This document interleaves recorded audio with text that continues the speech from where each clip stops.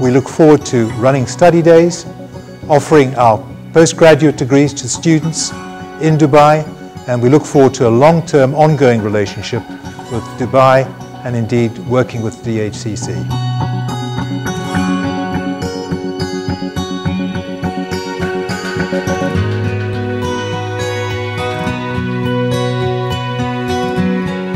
very well-known group. We've been training, we are the longest standing institution training optometrists in the UK, and we have a strong reputation for our research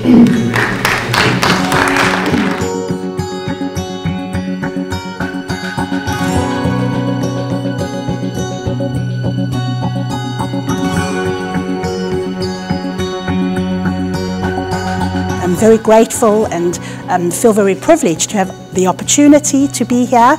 And I hope that this is just the start. I hope that we will be able to come back and share more experiences and spend a lot of time um, talking and sharing and offering um, some advice and expertise about um, education and special ed educational needs in schools.